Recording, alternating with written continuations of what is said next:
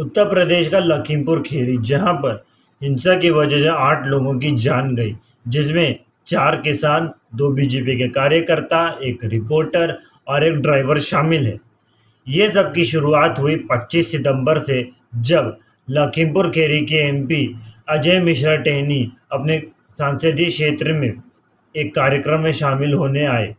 अजय मिश्रा टेहनी गृह राज्य मंत्री भी हैं और जब ये अपने कार्यक्रम में शामिल होने आए, तब इस कार्यक्रम के दौरान कुछ नाराज़ किसानों के ग्रुप ने अजय मिश्रा टहनी को काले झंडे दिखाए, इसका विरोध किया, जिसके चलते अजय मिश्रा टहनी नाराज़ हो गए और नेताजी ने ये बयान दिया कि वो इन जैसे लोगों को दो मिनट में ठीक कर सकते हैं। इसके बाद किसानों का ये जो नाराज़ ग्रुप है, और नाराज़ हो गया और इन्होंने तय किया कि ये लोग तीन अक्टूबर को, जब उत्तर प्रदेश के उप मुख्यमंत्री केशव प्रसाद मौर्य लखीमपुर खेरी का दौरा करेंगे तो उसका वो लोग ज़बरदस्त विरोध करेंगे। केशव प्रसाद मौर्य तीन अक्टूबर को वाया हेलीकॉप्टर, हेलीपैड पर आने वाले थे, पर जिस हेलीपैड पर उनका हेलीकॉप्टर लैंड होने वाला था, उस हेलीपैड पे इन किसानों का नाराज़ ग्रुप जिसमें कहा जाता है कि कुछ समाजवादी पार्टी के भी मेंबर्स थे, वो लोग उस हेलीपैड को कब्जा कर लिया।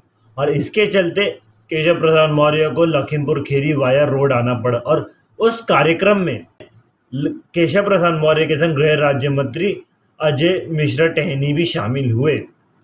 अब सवाल ये आता है कि ये हिंसा वगैरह शुरू हुई कैसे? अब देखिए, जब केशव प्रसाद मौर्य का ये कार्यक्रम चल रहा था तो उसी के कुछ देर बाद ही एक खबर आई कि हेलीपैड के पास हिंसा शुरू हो गई है, वहाँ पर भारी भीड़ इकट्ठा हो गई है और साथ ही में कुछ गाड़ियों को जला दिया गया है। और इस हिंसा के शुरू होने के तीन अलग अलग पक्ष है। पहला पक्ष ये कहता है कि गाड़ी आशीष मिश्रा, अजय मिश्रा टहनी के बेटे चला रहे थे और वो भी सौ किलोमीटर प्रति घंटे के रफ्तार पे और उन्होंने विरोध करते हुए किसानों के ऊपर गाड़ी चढ़ा दी।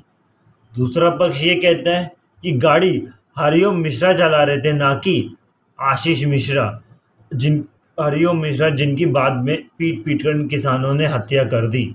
और तीसरा पक्ष ये कहता है कि गाड़ी हरिओम मिश्रा ही चला रहे थे, पर इतना बड़ी भीड़ देखकर, पथराव होते देख उन्होंने गाड़ी प्रदर्शनकारियों पर चढ़ा दी। अब मेरा सवाल ये है कि क्या एक किसान ये हिंसा में शामिल होगा?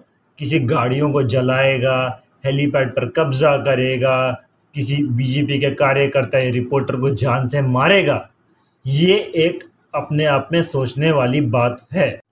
अब देखिए, क्योंकि ये मामला उत्तर प्रदेश का है तो ज़ाहिर सी बात है, राजनीति की रोटियाँ तो सिकनी है, और वही हुआ। सबसे पहले अपनी राजनीति की किस्मत चमकाने पहुँची प्रियंका गांधी वाड्रा। अब जब प्रियंका गांधी लखीमपुर केरी पहुँच गई तो हमारे छोटा भीम राहुल गांधी ना पहुँचे, ऐसा हो नहीं सकता। वो भी पहुँचे और में कई बड़े बड़े नेता, जैसे अखिलेश यादव, चरणजीत सिंह चन्नी, भूपेश बघेल, नवजोत सिंह सिद्धू, सब पहुँचे अपनी राजनीति की किस्मत चमकाने। और ये दिखाने की उन लोगों को किसानों से कितना लगाव है। हमने ये भी देखा कि किस तरीके से राकेश टिकैत के बयान पे बयान शुरू हो गए जब लखीमपुर खीरी में ये मामला हुआ। देखिए, किसानों की डेथ हुई, ये अपने आप में दुखद बात है, लेकिन कहाँ चले जाते हैं ये सारे नेता जब राजस्थान में एक किसानों का जो ग्रुप है, जब वो विरोध प्रदर्शन कर रहा था, अपनी सरकार के सामने अपनी मांग रख रहा था, तब उस पर जब पुलिस लाठीचार्ज कर दी, तब कितने नेताओं ने कुछ कहा? कितने बनाए राकेश टिकैत के ज़ीरो। अच्छा हमने ये भी देखा कि चरणजीत सिंह चन्नी, जो पंजाब के मुख्यमंत्री हैं, और भूपेश बघेल, जो छत्तीसगढ़ के मुख्यमंत्री हैं इन्होंने पचास पचास लाख का मुआवजा देने का वादा किया इन चार किसानों को। अब ज़रा एक बात बताइए, अगर आपके पास इतना ही पैसा है तो आप यही पैसा अपने राज्य के किसानों को क्यों नहीं देते जो सुसाइड कर लेते हैं? उनको देने के लिए आपके पास पैसा नहीं है, पर लखीमपुर खेरी में जो किसानों की जो डेथ हुई, उसको देने के लिए पैसा है। वाह भैया। अब भूपेश बघेल की मैं बात करूँ, वो लखनऊ पहुँचे।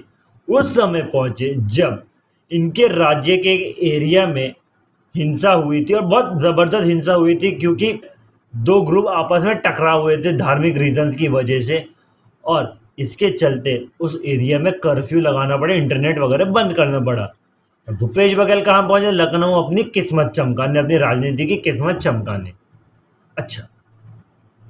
अब जब नेता वहाँ पे पहुँचे हैं, राजनेता वगैरह ये सब तो ज़ाहिर सी बात है मीडिया भी पहुंचेगी और मीडिया भी पहुँची उधर, इसको बड़े ज़ोर शोर से कवरेज करी एंड एवरीथिंग पर यही मीडिया शांत हो जाती है जब मामला उत्तर प्रदेश का नहीं, जब मामला आता है राजस्थान का, जब मामला रहता है पंजाब का, छत्तीसगढ़ का, इन सब जगहों का। ये एक मीडिया की बहुत बड़ी हिपोक्रेसी है। और हमने ये भी देखा कि सुप्रीम कोर्ट ऑफ़ इंडिया ने इस केस का सुओ मोटो लिया। सुओ मोटो यानी कि बिना किसी की पीआईएल फ़ाइल किए सुप्रीम कोर्ट इस मामले में अपने आप संज्ञान लेना। चलिए, ये बड़ी अच्छी बात थी कि सुप्रीम कोर्ट ने इसका सुओ मोटो लिया, लेकिन क्या Supreme Court of India suo motu लेगा उन किसानों के लिए जो पे लाठीचार्ज हुई राजस्थान में? क्या सुप्रीम कोर्ट सुओ मोटो लेगा उन पालघर साधुज के लिए जिनका महाराष्ट्र में डेथ हुआ? ये एक सवाल मेरे मन में उठ रहा है। अंत में मैं बस यही कहूँगा कि देखिए, इस मामले की जाँच चल रही है। एक तरफ़ उत्तर प्रदेश की पुलिस मामले की जाँच कर रही है तो दूसरी तरफ़ एक एस प्रोब भी है। और हमने ये भी देखा हाल ही में कि आशीष मिश्रा को उत्तर प्रदेश की पुलिस ने गिरफ़्तार किया और तब किया जब बहुत प्रेशर वगैरह पड़ गया उत्तर प्रदेश की पुलिस पे यूपी की गवर्नमेंट पे। वरना उससे पहले मेरे को नहीं लगता ये लोग अरेस्ट भी करते आशीष मिश्रा को। तो देखिए, कहीं ना कहीं मैं कहूँगा कि यूपी के पुलिस ने अरेस्ट करने में काफ़ी लेट हुई है। और एक और चीज़ है कि देखिए, कानून अपना काम कर रही है और क्योंकि फेक सिंपैथी दिखाने से, या अपनी राजनीति की रोटियाँ सेकने से कुछ नहीं होगा, या फिर अजय मेरा टहनी की रेजिग्नेशन मांगने से कुछ नहीं होगा। कानून अपना काम कर रहा है, अगर कुछ सामने आएगा तो ज़रूर अजय मिश्रा टहनी को भी रिज़ाइन करना चाहिए, अगर वो भी गुनहगार हैं तो। और मैं अपने पॉलि, जो पॉलिटिशियन जो वहाँ पे अपनी राजनीति की रोटियाँ सेक रहे हैं, उनसे यही कहूँगा कि आप इस चीज़ पे फोकस करें कि किस तरीके से इंडिया ग्लोबल सुपर पावर बन सकता है। उस चीज़ पे फोकस करेंगे तो बहुत बेहतर होगा।